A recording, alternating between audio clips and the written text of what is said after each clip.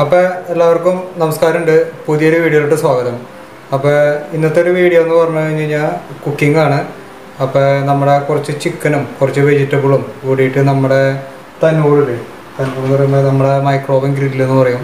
അപ്പോൾ നമ്മൾ ഇതിനകത്ത് വെച്ചിട്ട് സംഭവം സെറ്റാക്കി എടുക്കുകയാണ് വളരെ ഈസി പരിപാടിയാണ്.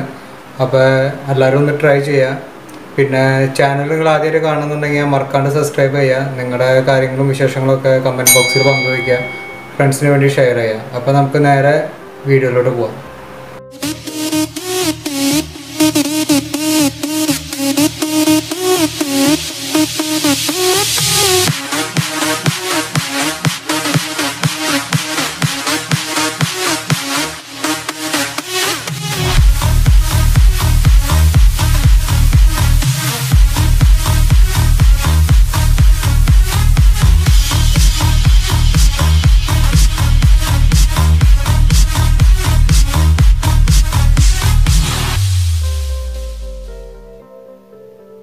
അപ്പോൾ നമുക്ക് ആദ്യം വേണ്ടത് കുറച്ച് കറി മസാല അത് ഒട്ടും സ്പൈസി അല്ല.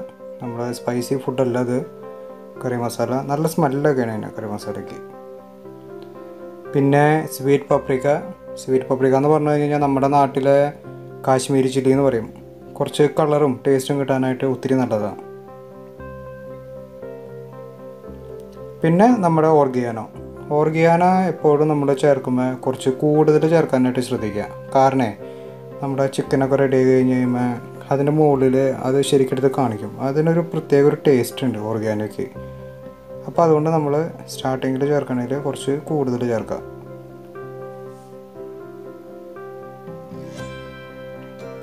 പിന്നെ നമ്മുടെ ടേസ്റ്റ് അനുസരിച്ച് ആവശ്യത്തിന് കുറച്ച് ഉപ്പ്.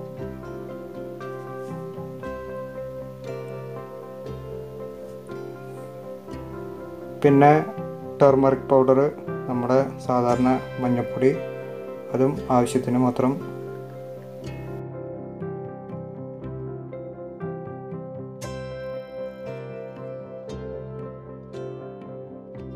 പിന്നെ നമ്മുടെ ഈ മസാല സാധനങ്ങൾ നല്ലപോലെ ഒന്ന് മിക്സ് ചെയ്യുക. അത് ചിക്കനിലിട്ട് നല്ലപോലെ മിക്സ് ചെയ്യുക.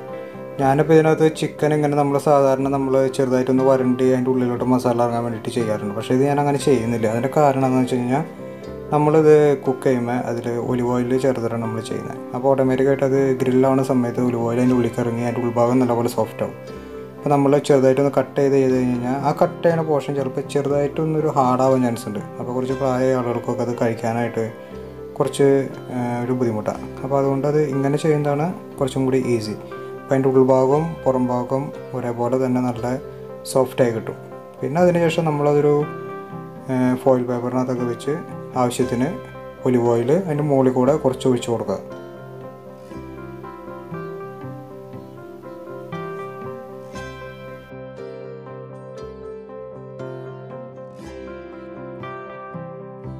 ഏകദേശം പരിപാടി തീർന്നു. ഇനി അത് നേരെ നമ്മളെടുത്ത് നമ്മുടെ ഗ്രില്ലിനകത്തേക്ക് എടുത്ത് വയ്ക്കുക.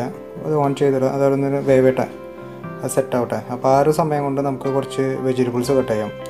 ക്യാപ്സിക്കം ക്യാപ്സിക്കം റെഡ് ക്യാപ്സിക്കാണ് ഞാൻ ഓൾവേസ് ഞാൻ പ്രിഫർ ചെയ്യുന്നത്. കാരണം ഒത്തിരി ഹെൽത്തിയും ഒത്തിരി ടേസ്റ്റി ആയിട്ടുള്ളതാണ് റെഡ് അപ്പോൾ റെഡാണ് മാക്സിമം ഉപയോഗിക്കാൻ നോക്കുക. പിന്നെ കുറച്ച് ക്യാരറ്റ് അത് ഇതേപോലെ നമ്മൾ ചെറുതായിട്ട് നീളത്തിൽ നമ്മൾ ഈ സാധാരണ ഈ ചിപ്സിനൊക്കെ കട്ട് ചെയ്യില്ലേ അതേപോലെ കട്ട് ചെയ്താൽ മതി.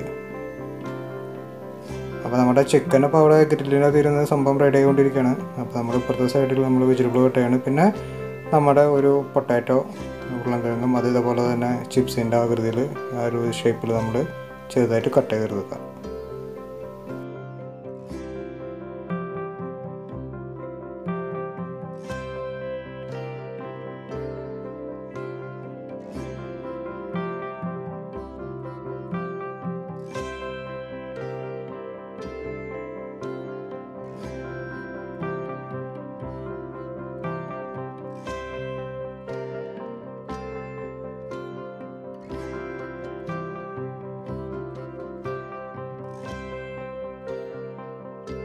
അപ്പോൾ നമുക്കിപ്പോൾ ഇതിലോട്ട് വേണ്ട വെജിറ്റബിൾസ് ഏകദേശം റെഡി ആയിട്ടുണ്ട്.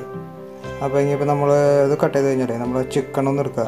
എടുത്ത് കഴിഞ്ഞിട്ട് ഒന്ന് നോക്കാം. അപ്പോൾ അതിന്റെ ഒരു സൈഡ് ഏകദേശം റെഡി ആയിട്ടുണ്ടോ. അപ്പുറ സൈഡ് അത്രയ്ക്കാണ്ട് ആയിട്ടുണ്ടാവില്ല. അപ്പോൾ അതൊന്ന് ചെറുതായിട്ടൊന്ന് ആ ചിക്കൻ ടേൺ ചെയ്തിട്ട് നമ്മൾ അതിനകത്ത് കുറച്ചും കൂടി ഒരു ഓലിവ് ഓയിൽ അപ്പുറത്തെ സൈഡിലോട്ടൊന്ന് ഒഴിച്ചു കൊടുക്കുക. അതിനുശേഷം അതൊരു പത്ത് മിനിറ്റും കൂടി വീണ്ടും ഒന്ന് റെഡിയാക്കാൻ വെക്കാം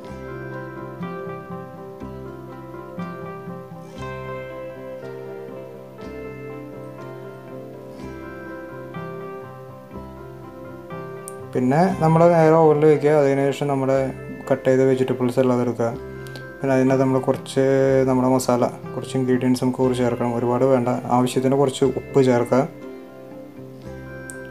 പിന്നെ കുറച്ച് ഒലിവ് ഓയിൽ ഒലിവ് ഓയിൽ എപ്പോഴും നമ്മൾ മാക്സിമം നല്ലപോലെ യൂസ് ചെയ്യുക ഒത്തിരി ഹെൽത്തിയും അതുപോലെ തന്നെ നമുക്ക് ഒത്തിരി നല്ലതാണ് എല്ലാ കാര്യങ്ങൾക്കും. അപ്പോൾ അതുകൊണ്ട് ഒലിവ് ഓയിൽ എപ്പോഴും നല്ലപോലെ ചേർക്കാനായിട്ട് ശ്രദ്ധിക്കുക.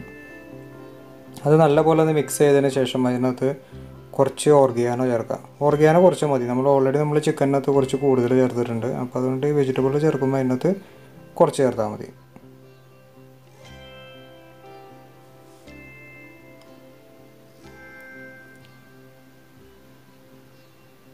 സത്യം പറഞ്ഞു കഴിഞ്ഞാൽ ഈ ആളുകൾ ഇവിടെയുള്ളവരൊക്കെ തൊണ്ണൂറും നൂറും നൂറ്റിപ്പത്തും വയസ്സുകാരൊക്കെ ജീവിച്ചിരിക്കേണ്ടതിന്റെ കാര്യം ഇതാണ്. ഇവർ നല്ലപോലെ എക്സസൈസും അതേപോലെ തന്നെ മാതിരി ചിക്കനും ബീഫൊക്കെ കഴിക്കുകയാണ് കൂടുതൽ അടിപൊളി ഒരു പച്ചക്കറിയും കഴിച്ച് നല്ല ഹെൽത്തി ആയിട്ട് വരും. ഇപ്പോൾ നമ്മുടെ ചിക്കൻ ഏകദേശം സെറ്റ് ആയിട്ടുണ്ട് കേട്ടോ അതേ കണ്ട? അതേപോലെ നമുക്ക് കാണാം. അത് ഗ്രില്ലായി റെഡി ആയിട്ടുണ്ട്. ഉള്ള ചോറും ഒരു പാത്രം ചിക്കനും ഒരു പാത്രം ചോറും കഴിച്ച് ഒരു അറുപത്തഞ്ച് എഴുപത് വയസ്സുമ്പോഴേക്കും നമ്മുടെ ഫ്യൂസ് അടിച്ച് പോകും ഓൾവേസ് ബി ഹെൽത്തി അപ്പോൾ നമ്മുടെ ചിക്കനിലോട്ട് നമ്മുടെ എല്ലാ വെജിറ്റബിൾസും നമ്മൾ അതിനകത്തേക്ക് ഇടാം. ഇപ്പോൾ അത് ഞാൻ പറഞ്ഞില്ല ഒരു നല്ലൊരു ഹെൽത്ത് ഡിഷാണ് അത്.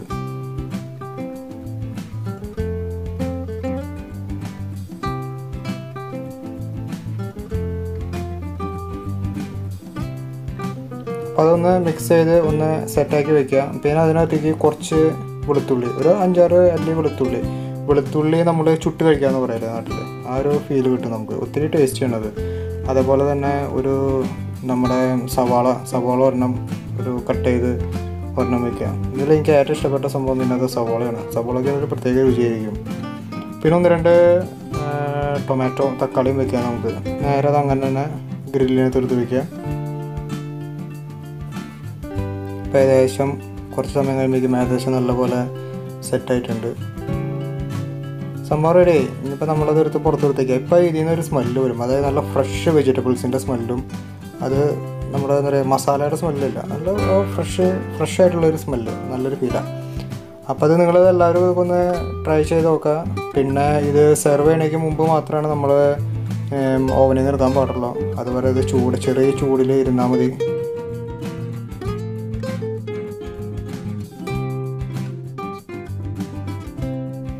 അപ്പോൾ നമ്മൾ ആ ചെറിയ ചൂടിൽ ഇരുന്ന് കഴിഞ്ഞാൽ അത് അടിയിൽ പിടിക്കില്ല. മീൻസ് അത് നമുക്ക് എടുക്കാനായിട്ട് നല്ല ഈസി ആയിട്ട് കിട്ടും.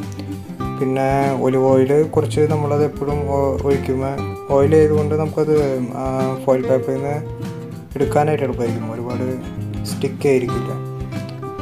അപ്പോൾ അങ്ങനെയൊക്കെയാണ് വിശേഷങ്ങൾ അപ്പോൾ പിന്നെ എന്നിട്ട് പറയാനുള്ളത് നിങ്ങളപ്പോൾ നമ്മുടെ ചാനൽ ആദ്യമായിട്ട് കാണണമെന്നുണ്ടെങ്കിൽ മറക്കാണ്ട് സബ്സ്ക്രൈബ് ചെയ്യുക. എന്നിട്ട് വീഡിയോ ഇഷ്ടപ്പെടും എന്ന് ഞാൻ വിചാരിക്കുന്നു. അപ്പോൾ നിങ്ങൾ ഫ്രണ്ട്സിന് വേണ്ടി ഷെയർ ചെയ്യുക. പിന്നെ വിശേഷങ്ങളും ബാക്കി കാര്യങ്ങളൊക്കെ നമുക്ക് നേരെ കമന്റ് ബോക്സിൽ നമുക്ക് പങ്കുവയ്ക്കാം. അപ്പോൾ മറക്കാണ്ട് ഇത് പ്രാവശ്യം ഉണ്ടാക്കിയെന്ന് നോക്കിക്കോളൂ ട്രൈ ചെയ്തോളൂ. ഹെൽത്തി ഫുഡ് അപ്പോൾ ഓൾവേസ് ബി ഹെൽത്തി ഒരുപാട് സന്തോഷം. ഒരുപാട് സ്നേഹം. Thank you